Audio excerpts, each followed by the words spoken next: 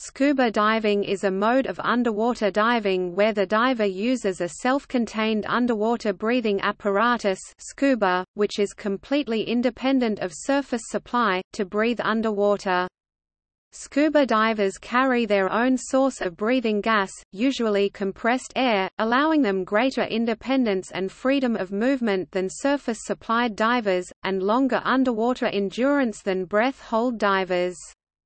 Although the use of compressed air is common, a new mixture called enriched air nitrox has been gaining popularity due to its benefit of reduced nitrogen intake during repetitive dives. Open-circuit scuba systems discharge the breathing gas into the environment as it is exhaled, and consist of one or more diving cylinders containing breathing gas at high pressure which is supplied to the diver through a regulator. They may include additional cylinders for range extension, decompression gas or emergency breathing gas. Closed-circuit or semi-closed-circuit rebreather scuba systems allow recycling of exhaled gases. The volume of gas used is reduced compared to that of open circuit, so a smaller cylinder or cylinders may be used for an equivalent dive duration. Rebreathers extend the time spent underwater compared to open circuit for the same gas consumption, they produce fewer bubbles and less noise than open circuit scuba which makes them attractive to covert military divers to avoid detection, scientific divers to avoid disturbing marine animals, and media divers to avoid bubble interference. Scuba diving may be done recreationally or professionally in a number of applications, including scientific, military and public safety roles, but most commercial diving uses surface-supplied diving equipment when this is practicable. Scuba divers engaged in armed forces covert operations may be referred to as frogmen, combat divers or attack swimmers. A scuba diver primarily moves underwater by using fins attached to the feet, but external propulsion can be provided by a diver propulsion vehicle, or a sled pulled from the surface. Other equipment includes a mask to improve underwater vision, exposure protection, equipment to control buoyancy, and equipment related to the specific circumstances and purpose of the dive. Some scuba divers use a snorkel when swimming on the surface. Scuba divers are trained in the procedures and skills appropriate to their level of certification by instructors affiliated to the diver certification organizations which issue these certifications. These include standard operating procedures for using the equipment and dealing with the general hazards of the underwater environment, and emergency procedures for self-help and assistance of a similarly equipped diver experiencing problems.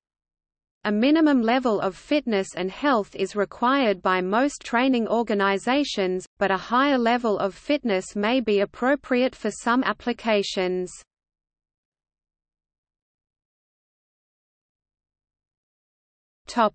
History The history of scuba diving is closely linked with the history of scuba equipment. By the turn of the 20th century, two basic architectures for underwater breathing apparatus had been pioneered, open-circuit surface-supplied equipment where the diver's exhaled gas is vented directly into the water, and closed-circuit breathing apparatus where the diver's carbon dioxide is filtered from unused oxygen, which is then recirculated. Closed-circuit equipment was more easily adapted to scuba in the absence of reliable, portable, and economical high-pressure gas storage vessels. By the mid-20th century, high-pressure cylinders were available and two systems for scuba had emerged, open-circuit scuba where the diver's exhaled breath is vented directly into the water, and closed-circuit scuba where the carbon dioxide is removed from the diver's exhaled breath which has oxygen added and is recirculated. Oxygen rebreathers are severely depth-limited due to oxygen toxicity risk, which increases with depth, and the available systems for mixed gas rebreathers were fairly bulky and designed for use with diving helmets. The first commercially practical scuba rebreather was designed and built by the diving engineer Henry Fleuss in 1878, while working for Siebe Gorman in London. His self-contained breathing apparatus consisted of a rubber mask connected to a breathing bag, with an estimated 50 to 60% oxygen supplied from a copper tank and carbon dioxide scrubbed by passing it through a bundle of rope yarn soaked in a solution of caustic potash, the system giving a dive duration of up to about three hours. This apparatus had no way of measuring the gas composition during use. During the 1930s and all through World War II, the British, Italians and Germans developed and extensively used oxygen rebreathers to equip the first frogmen. The British adapted the Davis submerged escape apparatus and the Germans adapted the Draeger submarine escape rebreathers, for their frogmen during the war. In the U.S. Major Christian J. Lambertsen invented an underwater free-swimming oxygen rebreather in 1939, which was accepted by the Office of Strategic Services. In 1952 he patented a modification of his apparatus, this time named SCUBA an acronym for Self-Contained Underwater Breathing Apparatus which became the generic English word for autonomous breathing equipment for diving, and later for the activity using the equipment. After World War II, military frogmen continued to use rebreathers since they do not make bubbles which would give away the presence of the divers.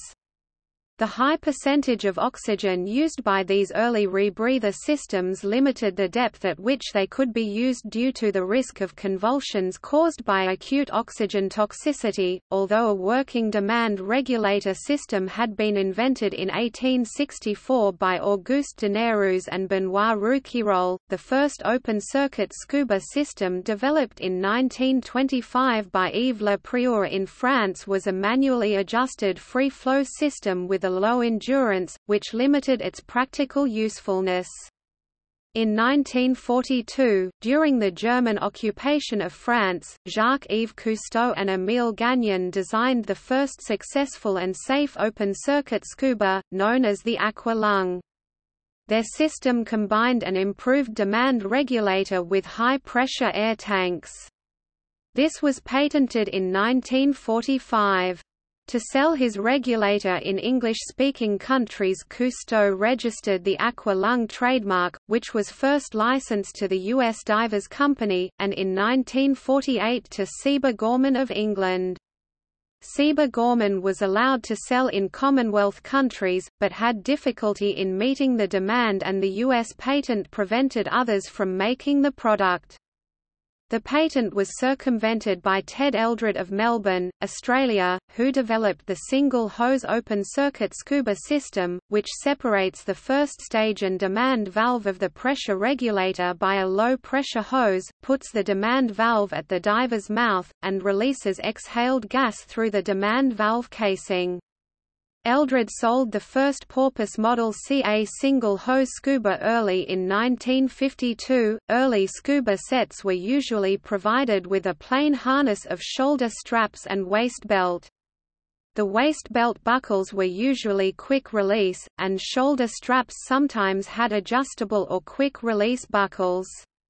Many harnesses did not have a backplate, and the cylinders rested directly against the diver's back. Early scuba divers dived without a buoyancy aid. In an emergency they had to jettison their weights. In the 1960s adjustable buoyancy life jackets ABLJ became available, which can be used to compensate for loss of buoyancy at depth due to compression of the neoprene wetsuit and as a life jacket that will hold an unconscious diver face upwards at the surface, and that can be quickly inflated. The first versions were inflated from a small disposable carbon dioxide cylinder, later with a small direct coupled air cylinder. A low-pressure feed from the regulator first stage to an inflation-deflation valve unit an oral inflation valve and a dump valve lets the volume of the ABLJ be controlled as a buoyancy aid. In 1971 the stabilizer jacket was introduced by Scuba Pro. This class of buoyancy aid is known as a buoyancy control device or buoyancy compensator.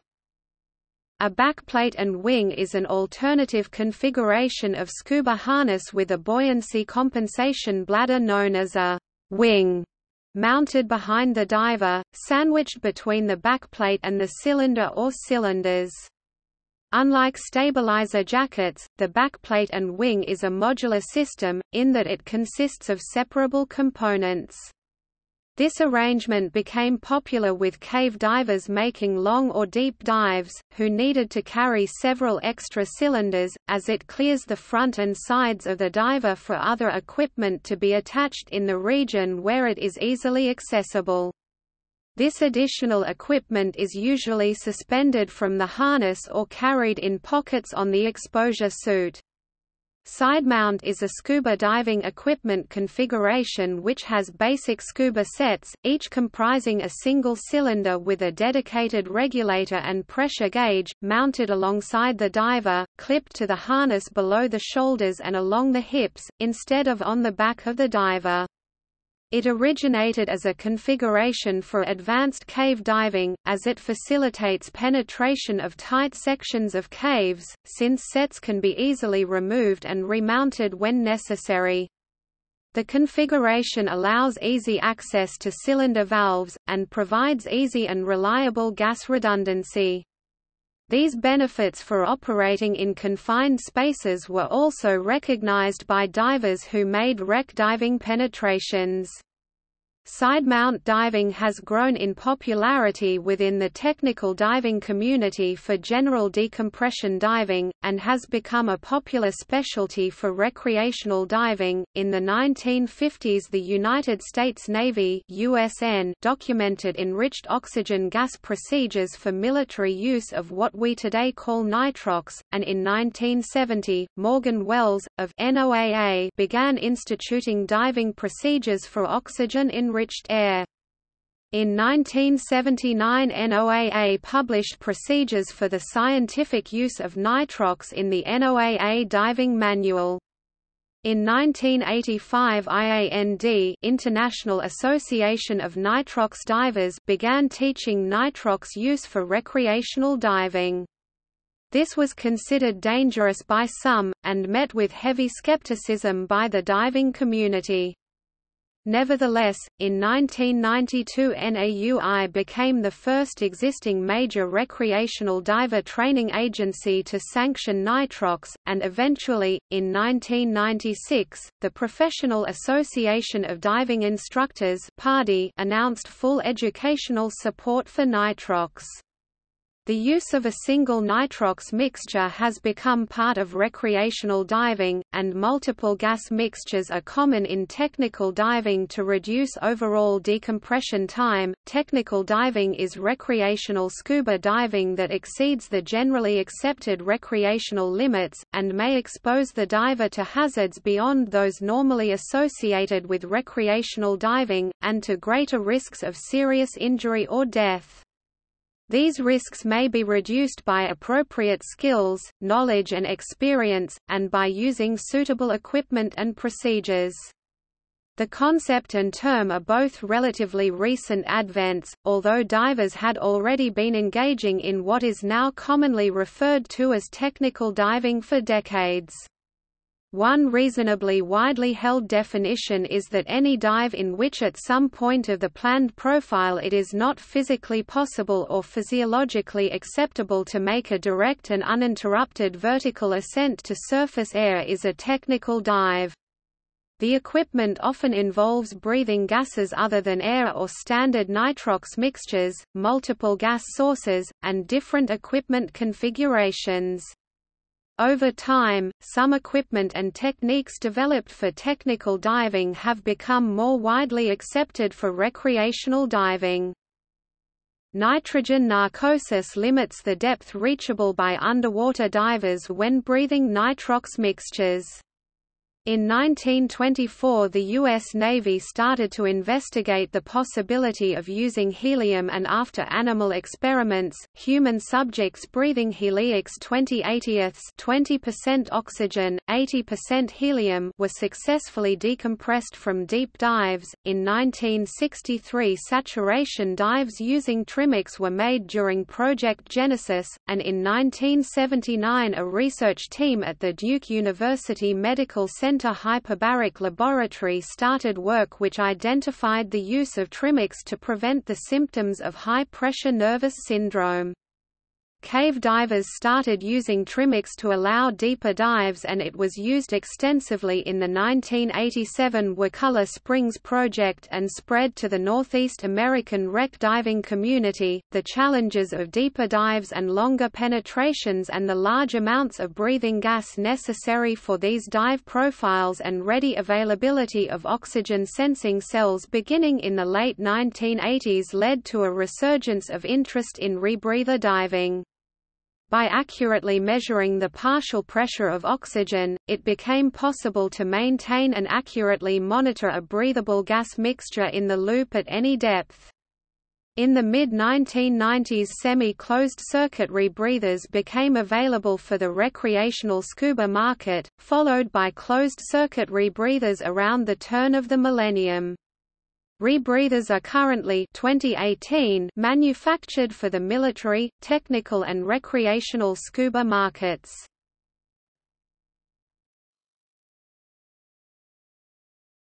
Topic: Equipment.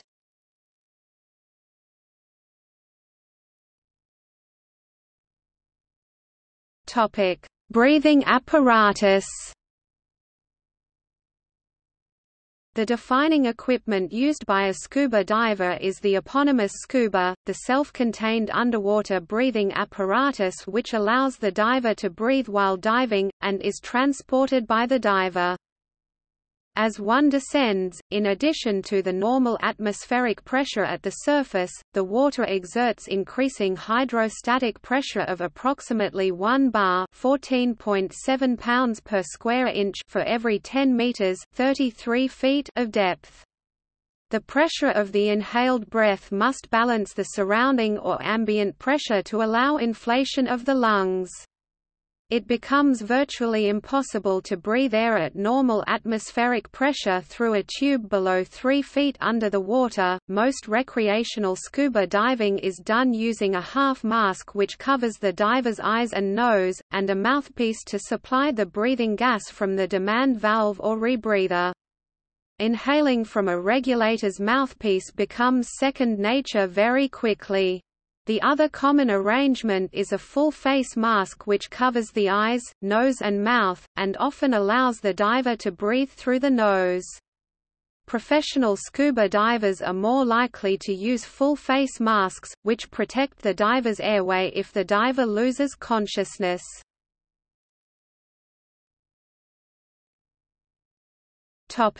Open circuit Open-circuit scuba has no provision for using the breathing gas more than once for respiration.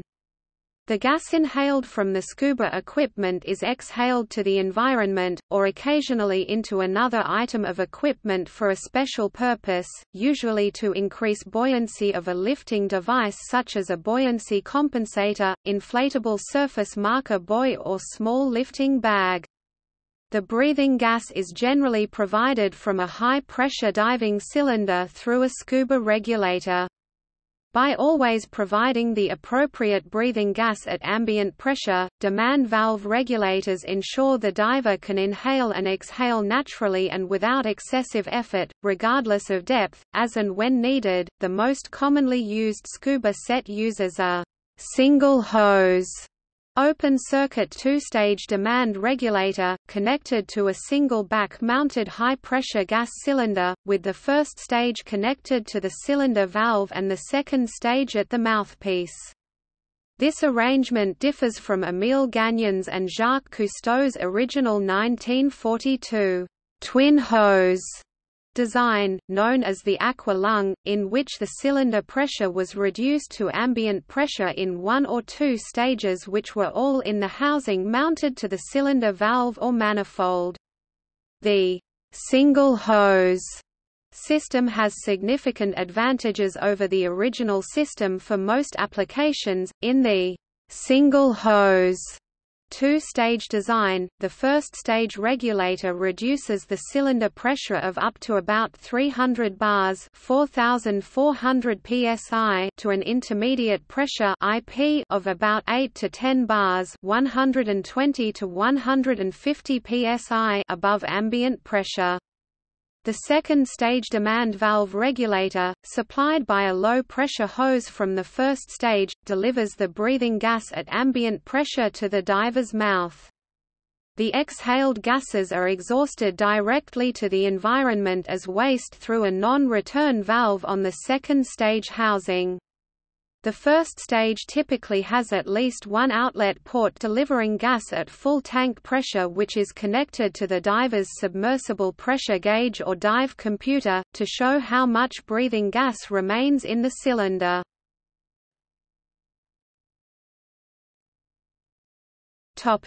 Rebreather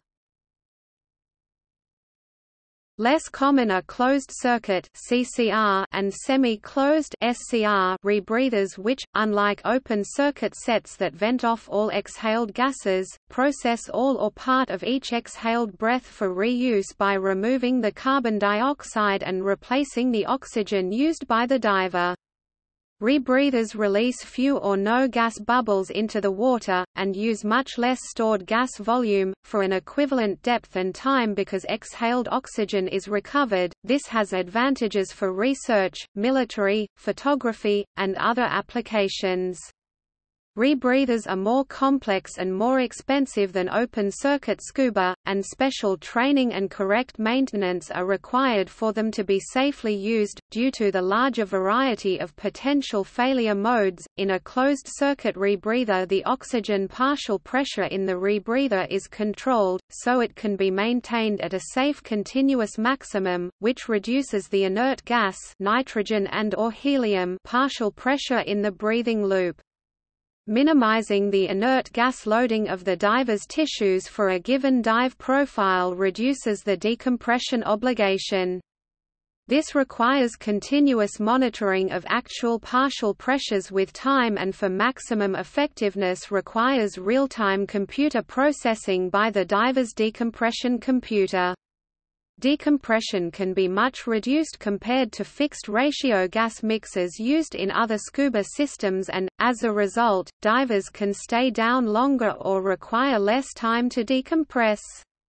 A semi-closed circuit rebreather injects a constant mass flow of a fixed breathing gas mixture into the breathing loop, or replaces a specific percentage of the respired volume, so the partial pressure of oxygen at any time during the dive depends on the diver's oxygen consumption and or breathing rate. Planning decompression requirements requires a more conservative approach for a SCR than for a CCR, but decompression computers with a real-time oxygen partial pressure input can optimize decompression for these systems. Because rebreathers produce very few bubbles, they do not disturb marine life or make a diver's presence known at the surface, this is useful for underwater photography, and for covert work. Topic: Gas mixtures. For some diving, gas mixtures other than normal atmospheric air 21% oxygen, 78% nitrogen, 1% trace gases can be used, so long as the diver is competent in their use. The most commonly used mixture is nitrox, also referred to as enriched air nitrox EAN, which is air with extra oxygen, often with 32% or 36% oxygen, and thus less nitrogen, reducing the risk of decompression sickness or allowing longer exposure to the same pressure for equal risk. The reduced nitrogen may also allow for no stops or shorter decompression stop times or a shorter surface interval between dives. A common misconception is that nitrox can reduce narcosis, but research has shown that oxygen is also narcotic. The increased partial pressure of oxygen due to the higher oxygen content of nitrox increases the risk of oxygen toxicity, which becomes unacceptable below the maximum operating depth of the mixture. To displace nitrogen without the increased oxygen concentration, other diluent gases can be used, usually helium, when the resultant three-gas mixture is called trimix, and when the nitrogen is fully substituted by helium, heliox. For dives requiring long decompression stops, divers may carry cylinders containing different gas mixtures for the various phases of the dive, typically designated as travel, bottom, and decompression gases. These different gas mixtures may be used to extend bottom time, reduce inert gas narcotic effects, and reduce decompression times.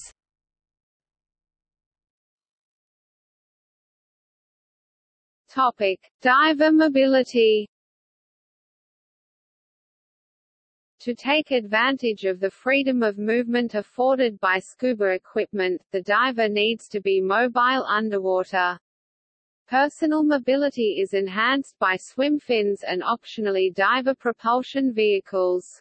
Fins have a large blade area and use the more powerful leg muscles, so are much more efficient for propulsion and maneuvering thrust than arm and hand movements, but require skill to provide fine control. Several types of fin are available, some of which may be more suited for maneuvering, alternative kick styles, speed, endurance, reduced effort or ruggedness. Streamlining dive gear will reduce drag and improve mobility. Balanced trim which allows the diver to align in any desired direction also improves streamlining by presenting the smallest section area to the direction of movement and allowing propulsion thrust to be used more efficiently. Occasionally a diver may be towed using a sled an unpowered device towed behind a surface vessel which conserves the diver's energy and allows more distance to be covered for a given air consumption and bottom time. The depth is usually controlled by the diver by using diving planes or by tilting the whole sled. Some sleds are fed to reduce drag on the diver. Topic: Buoyancy control and trim To dive safely, divers must control their rate of descent and ascent in the water and be able to maintain a constant depth in midwater. Ignoring other forces such as water currents and swimming, the diver's overall buoyancy determines whether they ascend or descend. Equipment such as diving weighting systems, diving suits wet, dry or semi-dry suits are used depending on the water temperature and buoyancy compensators can be used to adjust the overall buoyancy. When divers want to remain at constant depth, they try to achieve neutral buoyancy. This minimizes the effort of swimming to maintain depth and therefore reduces gas consumption. The buoyancy force on the diver is the weight of the volume of the liquid that they and their equipment displace minus the weight of the diver and their equipment. If the result is positive, that force is upwards. The buoyancy of any object immersed in water is also affected by the density of the water. The density of fresh water is about 3% less than that of ocean water.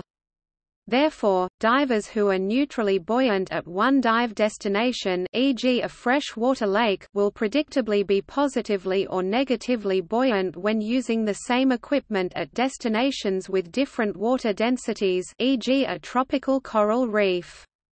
The removal ditching, or shedding of diver weighting systems can be used to reduce the diver's weight and cause a buoyant ascent in an emergency. Diving suits made of compressible materials decrease in volume as the diver descends, and expand again as the diver ascends, causing buoyancy changes. Diving in different environments also necessitates adjustments in the amount of weight carried to achieve neutral buoyancy. The diver can inject air into dry suits to counteract the compression effect and squeeze. Buoyancy compensators allow easy and fine adjustments in the diver's overall volume and therefore buoyancy, neutral buoyancy in a diver is an unstable state. It is changed by small differences in ambient pressure caused by a change in depth, and the change has a positive feedback effect. A small descent will increase the pressure, which will compress the gas-filled spaces and reduce the total volume of diver and equipment. This will further reduce the buoyancy, and unless counteracted, will result in sinking more rapidly. The equivalent effect applies to a small ascent, which will trigger an increased buoyancy and will result in accelerated ascent unless counteracted. The diver must continuously adjust buoyancy or depth in order to remain neutral. Fine control of buoyancy can be achieved by controlling the average lung volume in open-circuit scuba, but this feature is not available to the closed-circuit rebreather diver, as exhaled gas remains in the breathing loop. This is a skill which improves with practice until it becomes second nature. Buoyancy changes with depth variation are proportional to the compressible part of the volume of the diver and equipment, and to the proportional change in pressure, which is greater per unit of depth near the surface. Minimizing the volume of gas required in the buoyancy compensator will minimize the buoyancy fluctuations with changes in depth. This can be achieved by accurate selection of ballast weight, which should be the minimum to allow neutral buoyancy with depleted gas supplies at the end of the dive unless there is an operational requirement for greater negative buoyancy during the dive. Buoyancy and trim can significantly affect drag of a diver. The effect of swimming with a head-up angle of about 15 degrees, as is quite common in poorly trimmed divers, can be an increase in drag in the order of 50%. The ability to ascend at a controlled rate and remain at a constant depth is important for correct decompression. Recreational divers who do not incur decompression obligations can get away with imperfect buoyancy control, but when long decompression stops at specific depths are required, the risk of decompression sickness is increased by depth variations while at a stop.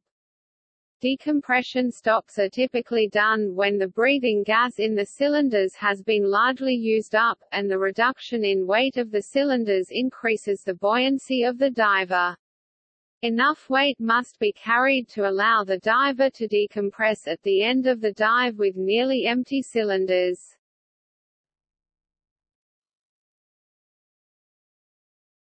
Topic: Underwater vision. Water has a higher refractive index than air, similar to that of the cornea of the eye. Light entering the cornea from water is hardly refracted at all, leaving only the eye's crystalline lens to focus light. This leads to very severe hypermetropia.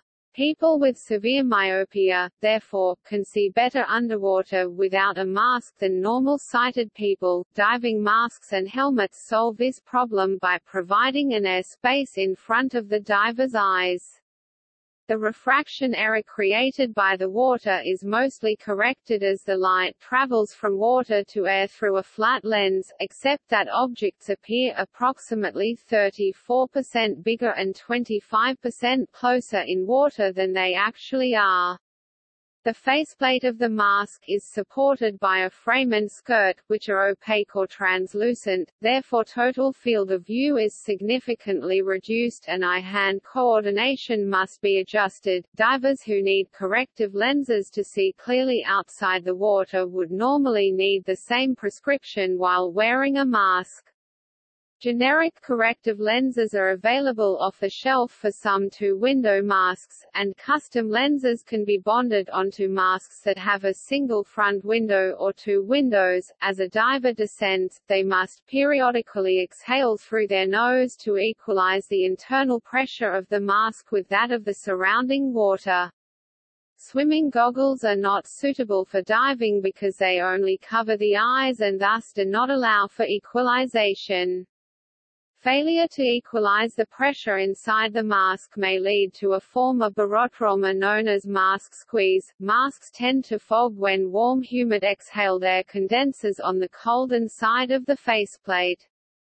To prevent fogging many divers spit into the dry mask before use, spread the saliva around the inside of the glass and rinse it out with a little water. The saliva residue allows condensation to wet the glass and form a continuous film, rather than tiny droplets. There are several commercial products that can be used as an alternative to saliva, some of which are more effective and last longer, but there is a risk of getting the anti-fog agent in the eyes.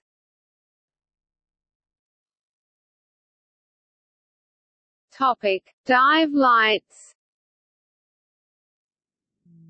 Water attenuates light by selective absorption. Pure water preferentially absorbs red light, and to a lesser extent, yellow and green, so the color that is least absorbed is blue light.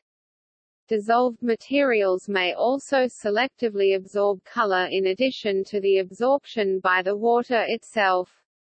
In other words, as a diver goes deeper on a dive, more color is absorbed by the water, and in clean water the color becomes blue with depth. Color vision is also affected by turbidity of the water which tends to reduce contrast. Artificial light is useful to provide light in the darkness, to restore contrast at close range, and to restore natural color lost to absorption.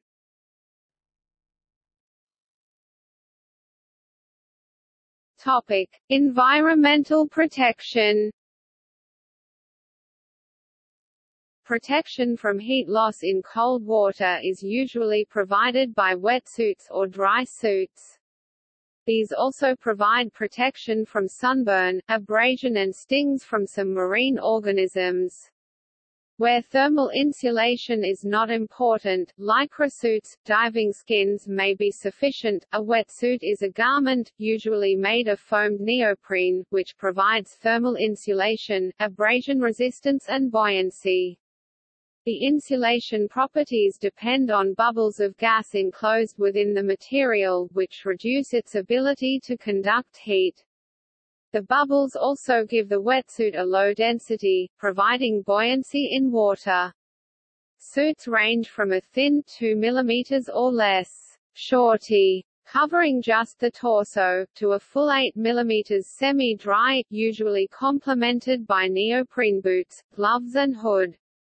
A good close fit and few zips help the suit to remain waterproof and reduce flushing. The replacement of water trapped between suit and body by cold water from the outside. Improved seals at the neck, wrists and ankles and baffles under the entry zip produce a suit known as semi-dry a dry suit also provides thermal insulation to the wearer while immersed in water, and normally protects the whole body except the head, hands, and sometimes the feet. In some configurations, these are also covered. Dry suits are usually used where the water temperature is below 15 degrees Celsius 60 degrees Fahrenheit or for extended immersion in water above 15 degrees Celsius 60 degrees Fahrenheit, where a wetsuit user would get cold, and with an integral helmet, boots, and gloves for personal protection when diving in contaminated water. Dry suits are designed to prevent water from entering. This generally allows better insulation making them more suitable for use in cold water. They can be uncomfortably hot in warm or hot air, and are typically more expensive and more complex to don. For divers, they add some degree of complexity as the suit must be inflated and deflated with changes in depth in order to avoid squeeze on descent or uncontrolled rapid ascent due to over-buoyancy. Topic: Monitoring and navigation. Unless the maximum depth of the water is known, and is quite shallow, a diver must monitor the depth and duration of a dive to avoid decompression sickness. Traditionally this was done by using a depth gauge and a diving watch, but electronic dive computers are now in general use, as they are programmed to do real-time modeling of decompression requirements for the dive, and automatically allow for surface interval. Many can be set for the gas mixture to be used on the dive, and some can accept changes in the gas mix during the dive. Most dive computers provide a fairly conservative decompression model, and the level of conservatism may be selected by the user within limits. Most decompression computers can also be set for altitude compensation to some degree. If a dive site and dive plan require the diver to navigate, a compass may be carried, and where retracing a route is critical, as in cave or wreck penetrations, a guideline is laid from a dive reel. In less critical conditions, many divers simply navigate by landmarks and memory, a procedure also known as pilotage or natural navigation. A scuba diver should always be aware of the remaining breathing gas supply, and the duration of diving time that this will safely support, taking into account the time required to surface safely and an allowance for foreseeable contingencies. This is usually monitored by using a submersible pressure gauge on each cylinder.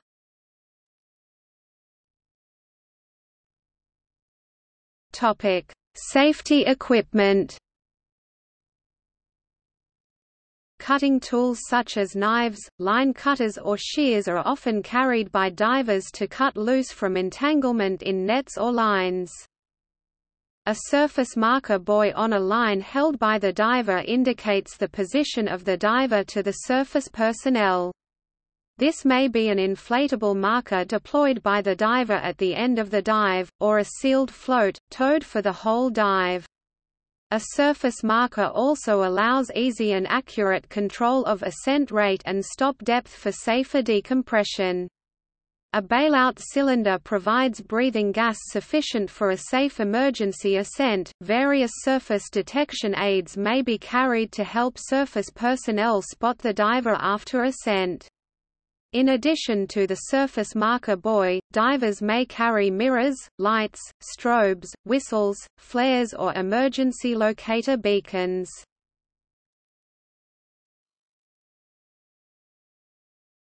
Topic: Accessories.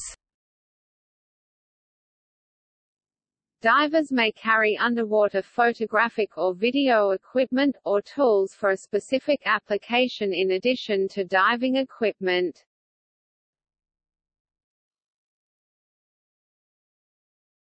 Topic. Procedures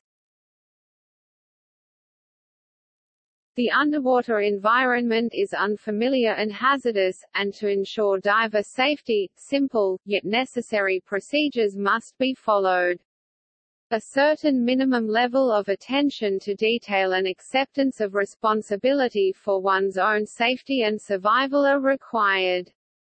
Most of the procedures are simple and straightforward, and become second nature to the experienced diver, but must be learned, and take some practice to become automatic and faultless, just like the ability to walk or talk. Most of the safety procedures are intended to reduce the risk of drowning, and many of the rest are to reduce the risk of barotrauma and decompression sickness. In some applications getting lost is a serious hazard, and specific procedures to minimize the risk are followed.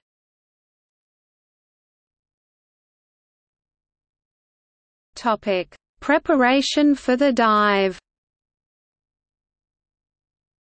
The purpose of dive planning is to ensure that divers do not exceed their comfort zone or skill level, or the safe capacity of their equipment, and includes scuba gas planning to ensure that the amount of breathing gas to be carried is sufficient to allow for any reasonably foreseeable contingencies.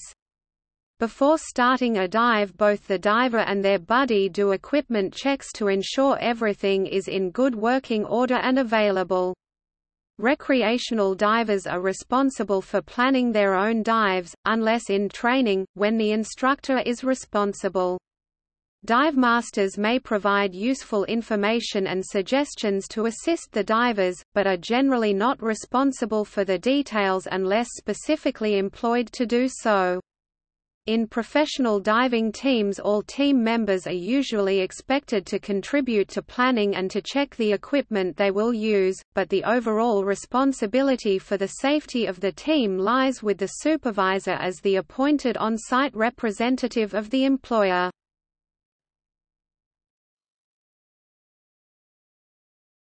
Topic: Standard diving procedures.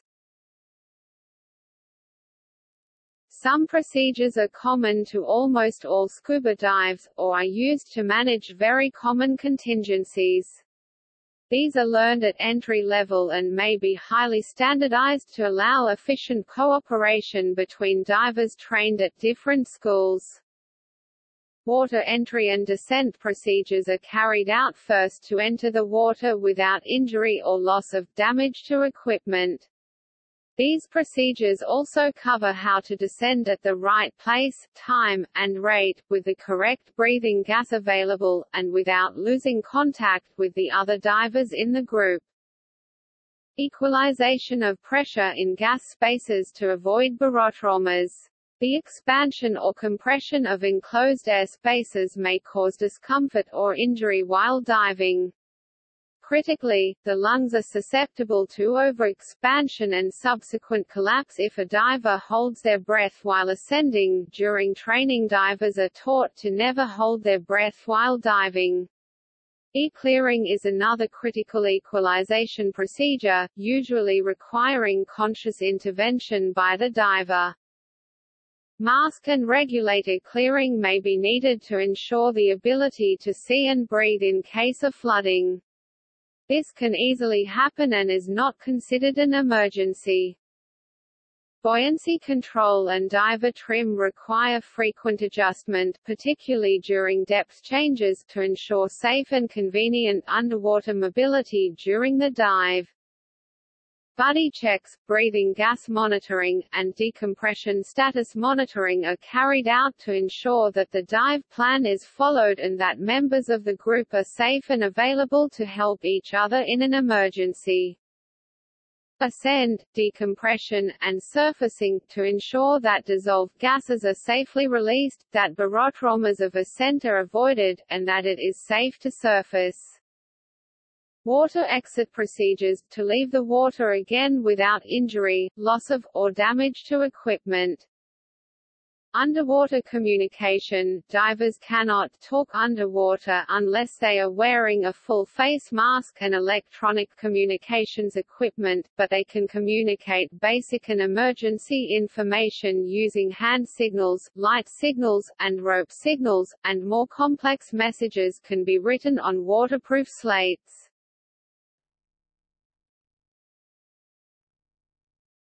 Topic: Decompression.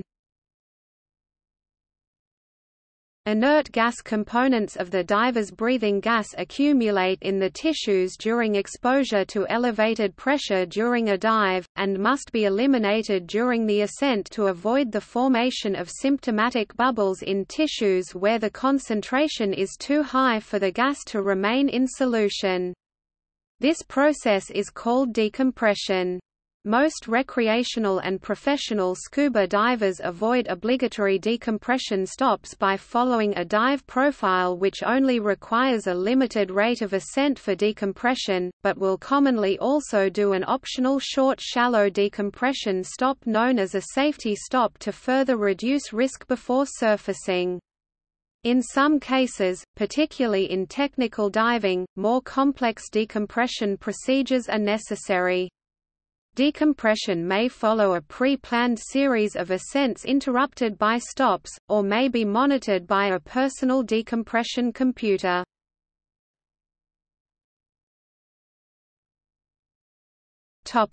Post-dive procedures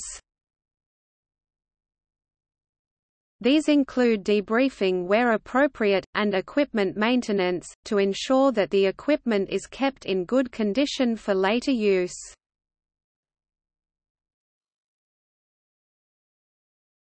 Topic: Buddy, team or solo diving. Buddy and team diving procedures are intended to ensure that a recreational scuba diver who gets into difficulty underwater is in the presence of a similarly equipped person who understands and can render assistance. Divers are trained to assist in those emergencies specified in the training standards for their certification, and are required to demonstrate competence in a set of prescribed buddy assist skills.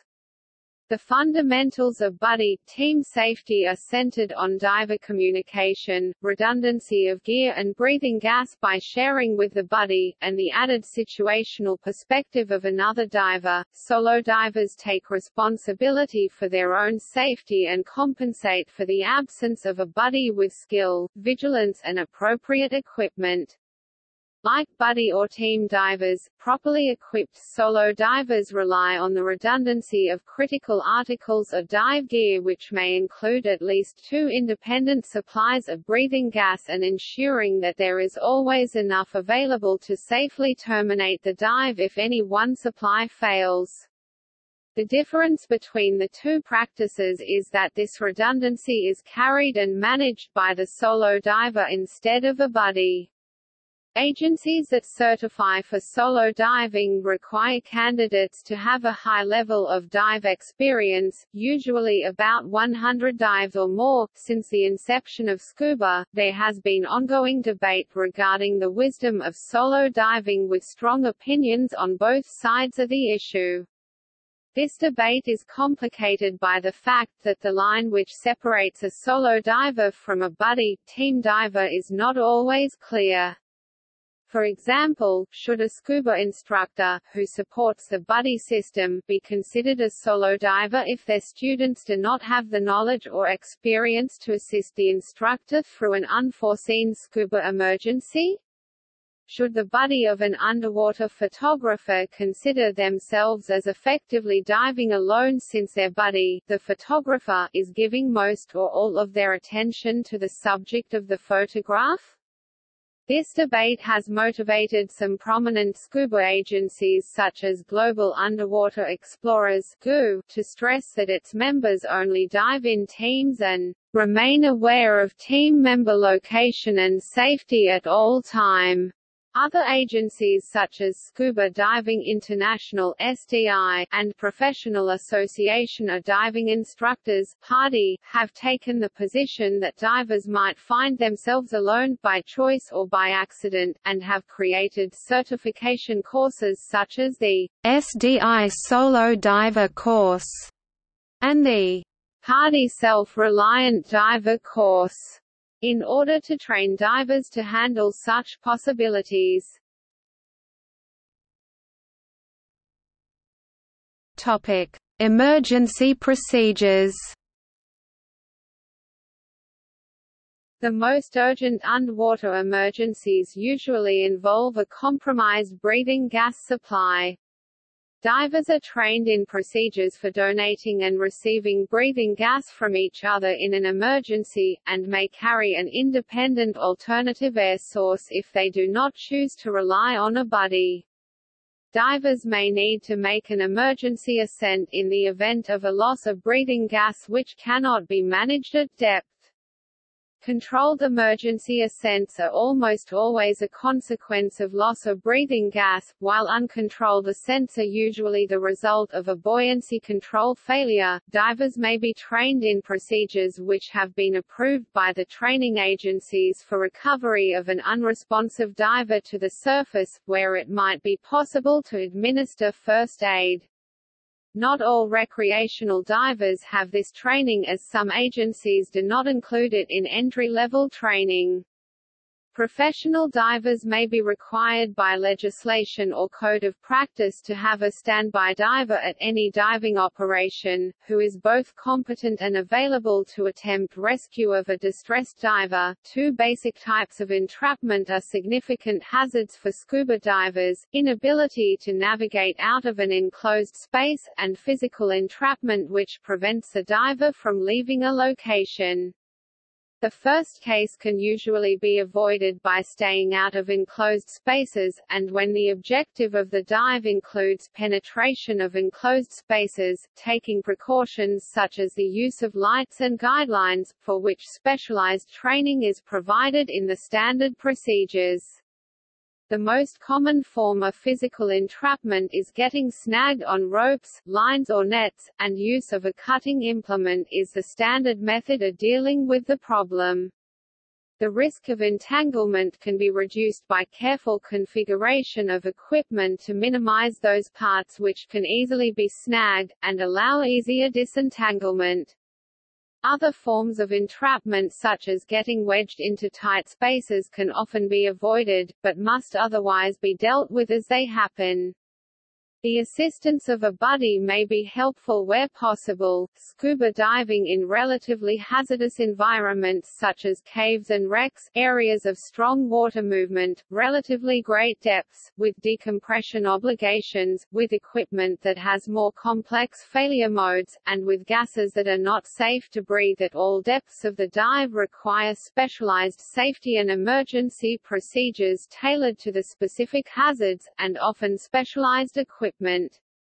These conditions are generally associated with technical diving.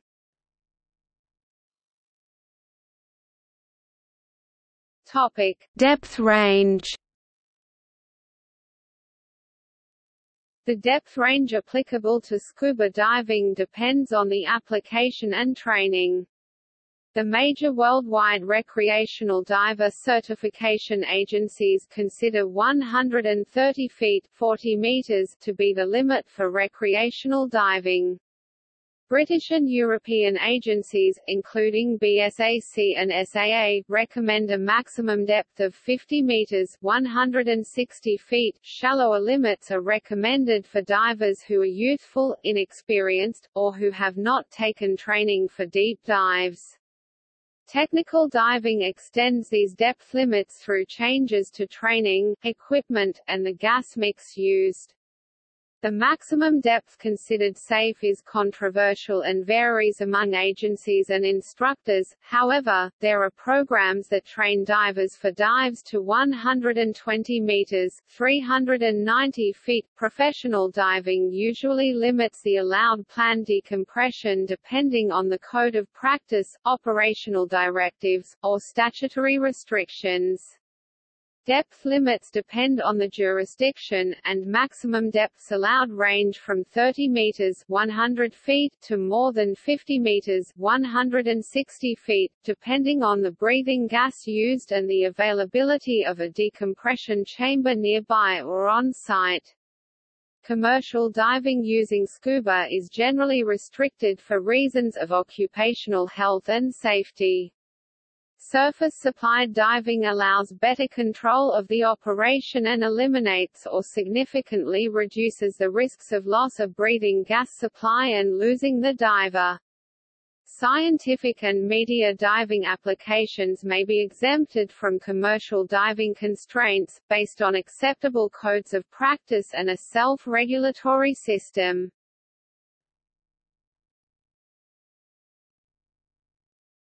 Topic. Applications Scuba diving may be performed for a number of reasons, both personal and professional. Recreational diving is done purely for enjoyment and has a number of technical disciplines to increase interest underwater, such as cave diving, wreck diving, ice diving and deep diving. Underwater tourism is mostly done on scuba and the associated tour guiding must follow suit. Divers may be employed professionally to perform tasks underwater. Some of these tasks are suitable for scuba. There are divers who work, full or part time, in the recreational diving community as instructors, assistant instructors, dive masters, and dive guides. In some jurisdictions, the professional nature, with particular reference to responsibility for health and safety of the clients, of recreational diver instruction, dive leadership for reward and dive guiding is recognized and regulated by national legislation. Other specialist areas of scuba diving include military diving, with a long history of military frogmen in various roles. Their roles include direct combat, infiltration behind enemy lines, placing mines or using a manned torpedo, bomb disposal or engineering operations.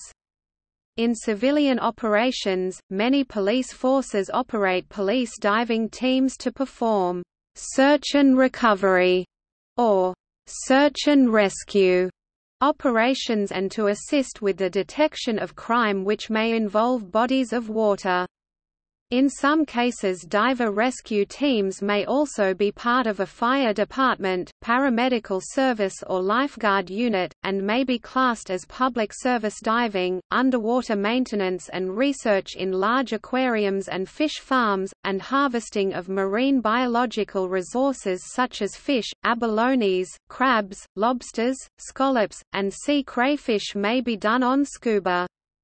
Boat and ship underwater hull inspection, cleaning and some aspects of maintenance ship's husbandry may be done on scuba by commercial divers and boat owners or crew.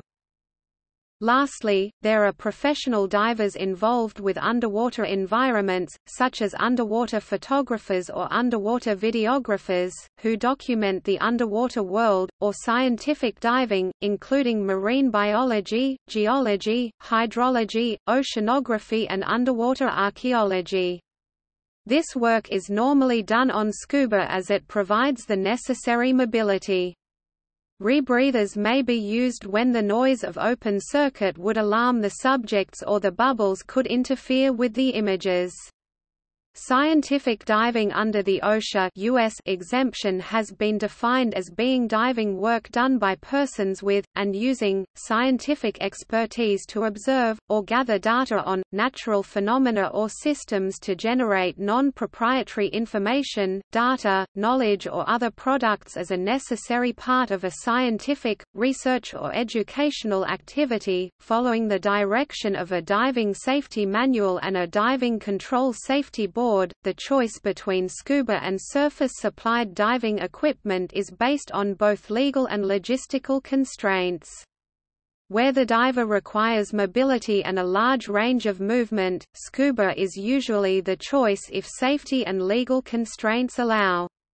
Higher risk work, particularly in commercial diving, may be restricted to surface-supplied equipment by legislation and codes of practice.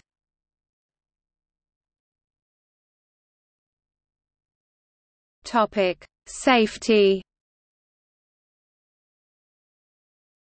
The safety of underwater diving depends on four factors, the environment, the equipment, behavior of the individual diver and performance of the dive team. The underwater environment can impose severe physical and psychological stress on a diver, and is mostly beyond the diver's control. Scuba equipment allows the diver to operate underwater for limited periods, and the reliable function of some of the equipment is critical to even short-term survival. Other equipment allows the diver to operate in relative comfort and efficiency. The performance of the individual diver depends on learned skills, many of which are not intuitive, and the performance of the team depends on communication and common goals. There is a large range of hazards to which the diver may be exposed. These each have associated consequences and risks, which should be taken into account during dive planning. Where risks are marginally acceptable it may be possible to mitigate the consequences by setting contingency and emergency plans in place, so that damage can be minimized where reasonably practicable. The acceptable level of risk varies depending on legislation, codes of practice and personal choice, with recreational divers having a greater freedom of choice.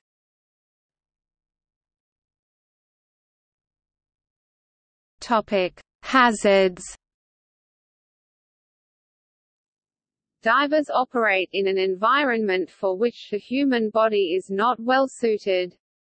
They face special physical and health risks when they go underwater or use high-pressure breathing gas. The consequences of diving incidents range from merely annoying to rapidly fatal, and the result often depends on the equipment, skill, response and fitness of the diver and diving team.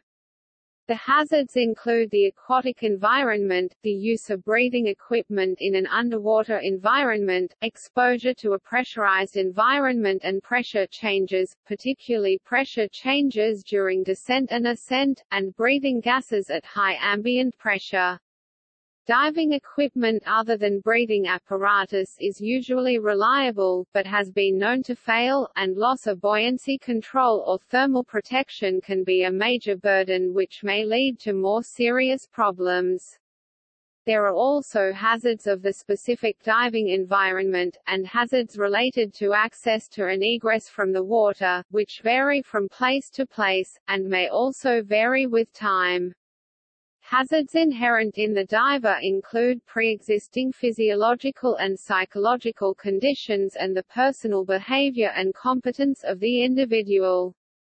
For those pursuing other activities while diving, there are additional hazards of task loading, of the dive task and of special equipment associated with the task. The presence of a combination of several hazards simultaneously is common in diving, and the effect is generally increased risk to the diver, particularly where the occurrence of an incident due to one hazard triggers other hazards with a resulting cascade of incidents.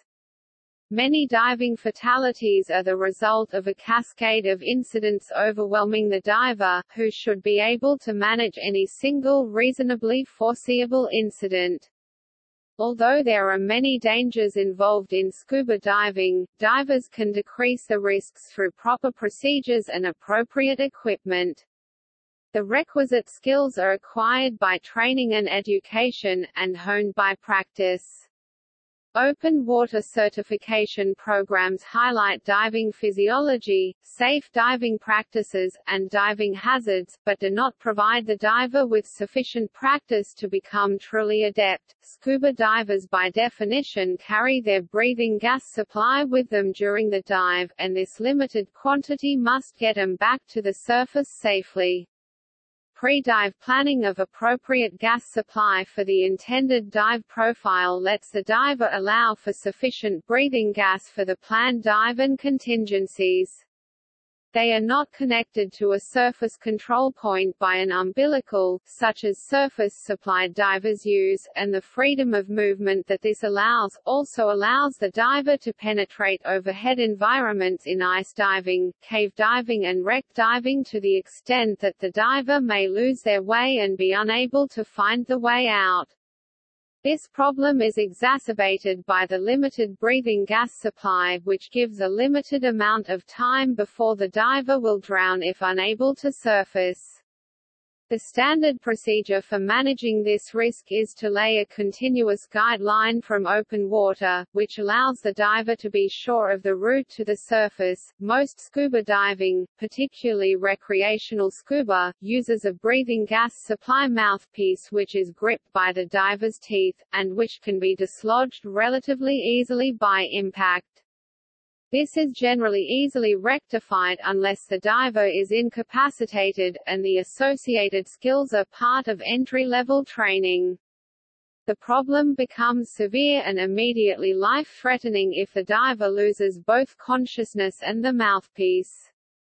Rebreather mouthpieces which are open when out of the mouth may let in water which can flood the loop, making them unable to deliver breathing gas, and will lose buoyancy as the gas escapes, thus putting the diver in a situation of two simultaneous life-threatening problems. Skills to manage this situation are a necessary part of training for the specific configuration. Full face masks reduce these risks and are generally preferred for professional scuba diving, but can make emergency gas sharing difficult, and are less popular with recreational divers who often rely on gas sharing with a buddy as their breathing gas redundancy option.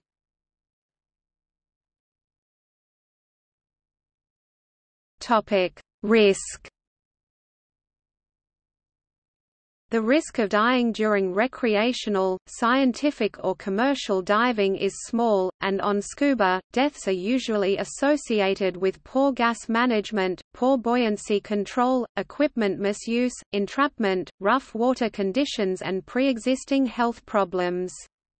Some fatalities are inevitable and caused by unforeseeable situations escalating out of control, but the majority of diving fatalities can be attributed to human error on the part of the victim. Equipment failure is rare in open-circuit scuba. According to death certificates, over 80% of the deaths were ultimately attributed to drowning, but other factors usually combine to incapacitate the diver in a sequence of events culminating in drowning, which is more a consequence of the medium in which the accidents occurred than the actual accident.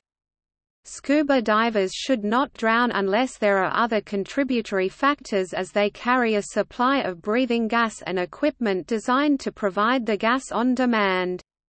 Drowning occurs as a consequence of preceding problems such as unmanageable stress, cardiac disease, pulmonary barotrauma, unconsciousness from any cause, water aspiration, trauma, environmental hazards, equipment difficulties, inappropriate response to an emergency or failure to manage the gas supply. And often obscures the real cause of death. Air embolism is also frequently cited as a cause of death, and it, too is the consequence of other factors leading to an uncontrolled and badly managed ascent, possibly aggravated by medical conditions. About a quarter of diving fatalities are associated with cardiac events, mostly in older divers.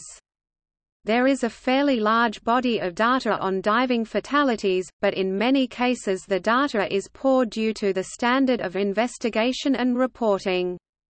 This hinders research which could improve diver safety. Fatality rates are comparable with jogging, 13 deaths per 100,000 persons per year, and are within the range where reduction is desirable by health and safety executive house criteria. The most frequent root cause for diving fatalities is running out of or low on gas. Other factors cited include buoyancy control, entanglement or entrapment, rough water, equipment misuse or problems and emergency ascent. The most common injuries and causes of death were drowning or asphyxia due to inhalation of water, air embolism and cardiac events. Risk of cardiac arrest is greater for older divers, and greater for men than women, although the risks are equal by age 65. Several plausible opinions have been put forward but have not yet been empirically validated. Suggested contributing factors included inexperience, infrequent diving, inadequate supervision, insufficient pre-dive briefings, buddy separation and dive conditions beyond the diver's training, experience or physical capacity, decompression sickness and arterial gas embolism in recreational diving have been associated with specific demographic, environmental, and diving behavioral factors.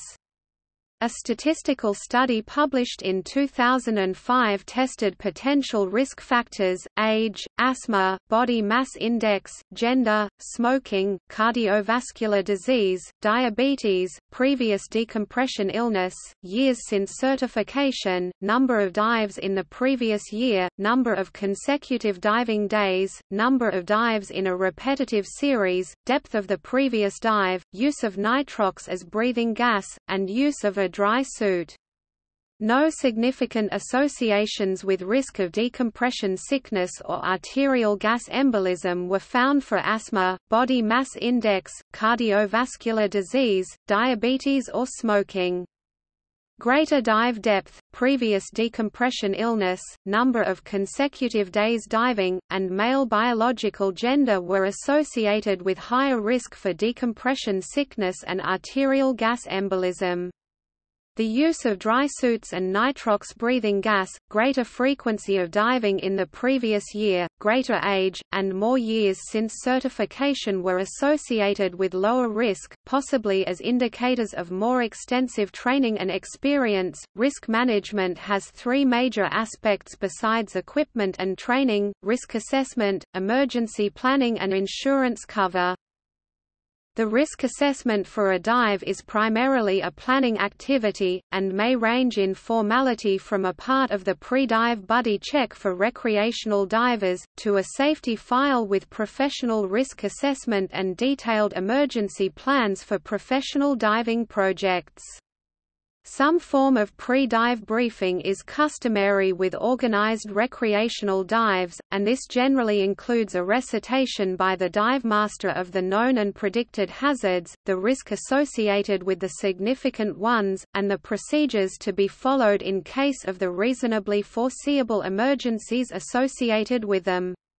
Insurance cover for diving accidents may not be included in standard policies. There are a few organizations which focus specifically on diver safety and insurance cover, such as the International Divers Alert Network.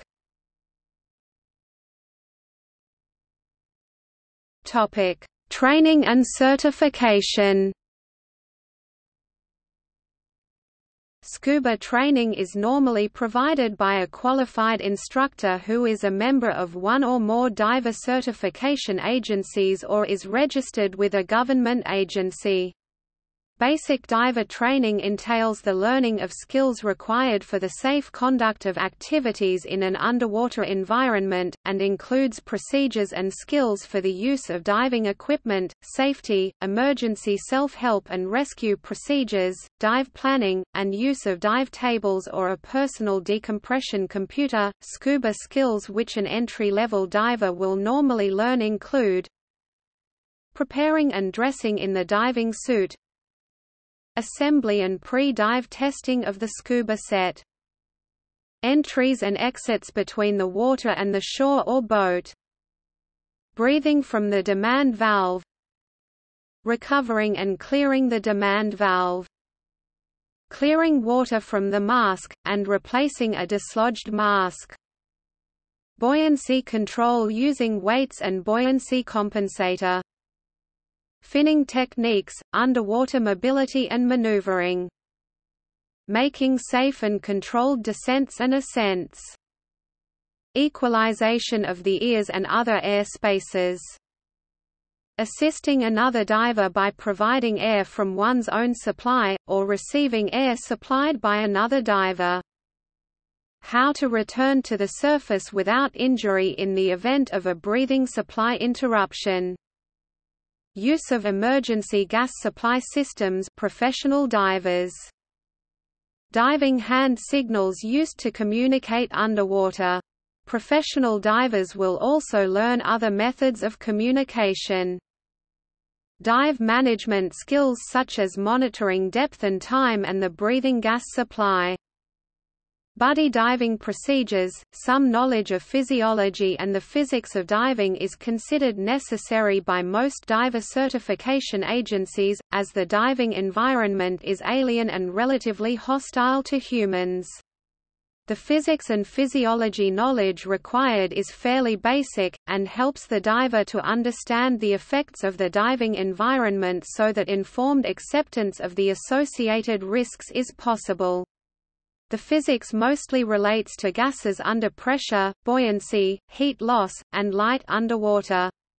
The physiology relates the physics to the effects on the human body, to provide a basic understanding of the causes and risks of barotrauma, decompression sickness, gas toxicity, hypothermia, drowning and sensory variations.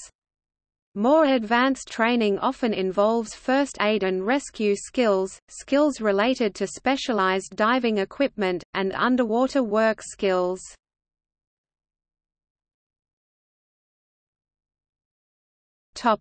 Recreational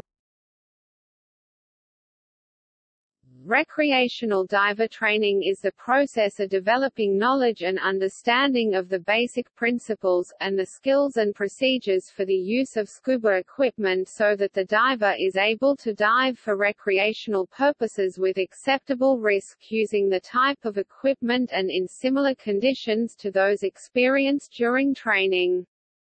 Recreational including technical scuba diving does not have a centralized certifying or regulatory agency, and is mostly self-regulated.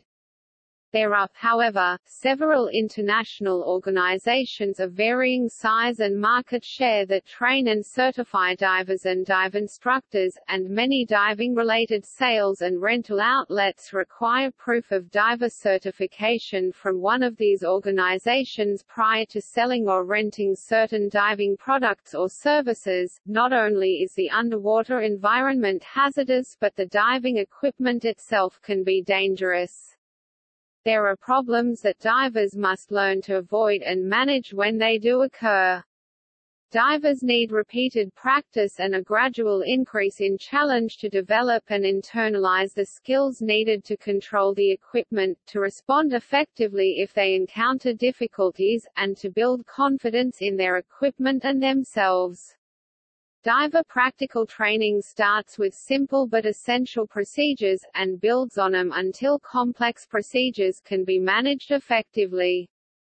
This may be broken up into several short training programs, with certification issued for each stage, or combined into a few more substantial programs with certification issued when all the skills have been mastered. Many organizations exist, throughout the world, offering diver training leading to certification. The issuing of a diving certification card, also known as a C card, or qualification card. This diving certification model originated at Scripps Institution of Oceanography in 1952 after two divers died while using university-owned equipment and the SIO instituted a system where a card was issued after training as evidence of competence.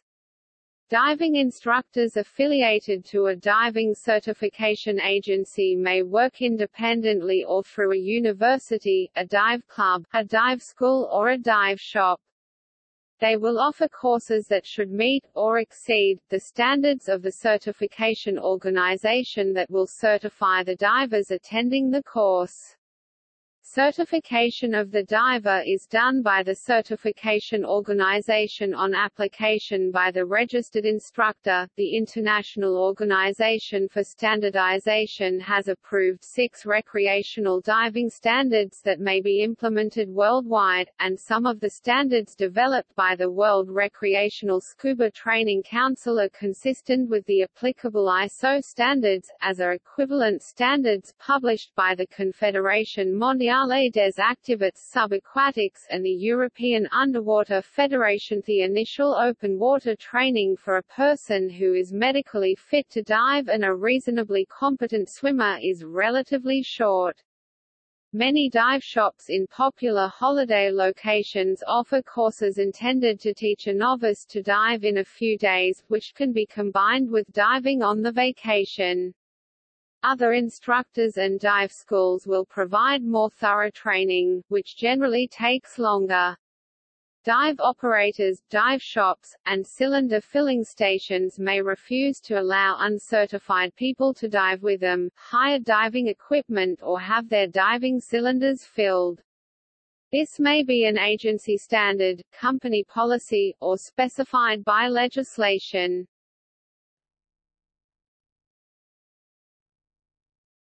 Topic: Professional It is fairly common for a national standard for commercial diver training and registration to apply within a country. These standards may be set by national government departments and empowered by national legislation, for example, in the case of the United Kingdom, where the standards are set by the Health and Safety Executive, and South Africa where they are published by the Department of Labour. Many national training standards and the associated diver registrations are recognized internationally among the countries which are members of the International Diving Regulators and Certifiers Forum IDRCF. A similar arrangement exists for state legislated standards, as in the case of Canada and Australia.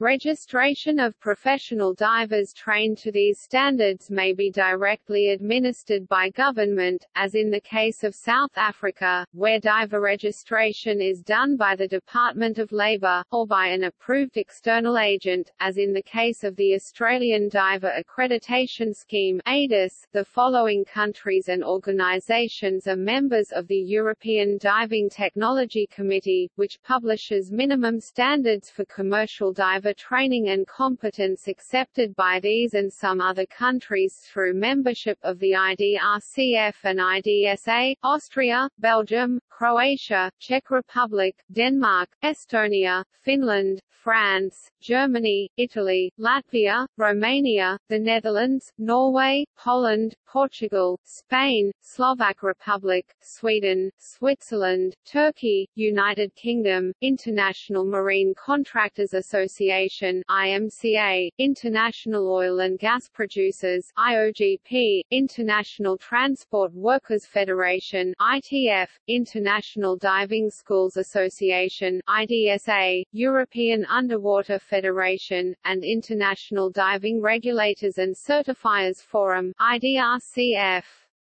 These standards include Commercial Scuba Diver, an example of a widely accepted training standard. EDTC 2017 Commercial Scuba Diver requires the professional scuba diver to be certified as medically fit to dive and competent in skills covering the scope of administrative procedures relating to statutory requirements, employment conditions, health and safety at the workplace, and the basic theoretical grounding in physics, physiology and medicine that are relevant to their work as a diver.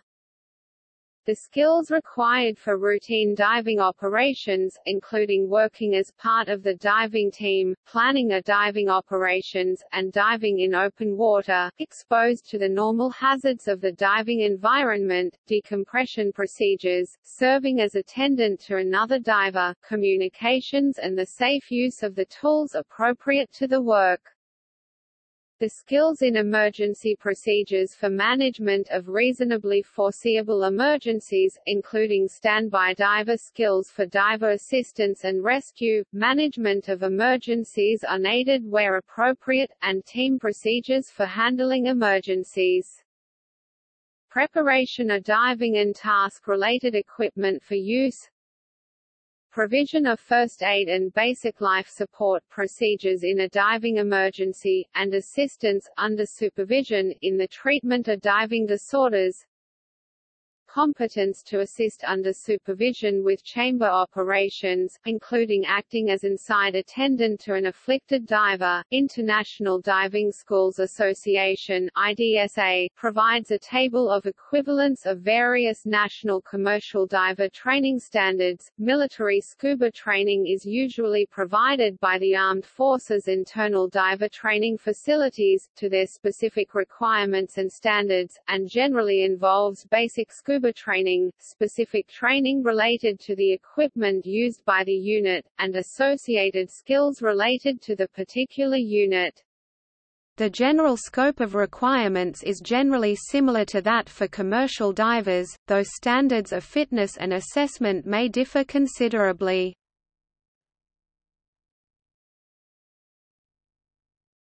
Topic: Records The current 2017 scuba depth record is held by Ahmed Gabr of Egypt who reached a depth of 332.35 meters, 1090.4 feet in the Red Sea in 2014. The record for cave penetration, horizontal distance from a known free surface, is held by Jon Bernot and Charlie Roberson of Gainesville, Florida, with a distance of 26,930 feet feet 8,210 meters. Jarrod Jablonski and Casey McKinlay completed a traverse from Turner Sink to Wakulla Springs, on 15 December 2007, covering a distance of nearly 36,000 feet 11 kilometers. This traverse took approximately 7 hours, followed by 14 hours of decompression, and set the record as the longest cave diving traverse. The current record for the longest continuous submergence using scuba gear was set by Mike Stevens of Birmingham, England at the National Exhibition Centre, Birmingham, during the annual National Boat, Caravan and Leisure Show between February 14 and February 23, 1986. He was continuously submerged for 212.5 hours. The record was ratified by the Guinness Book of Records.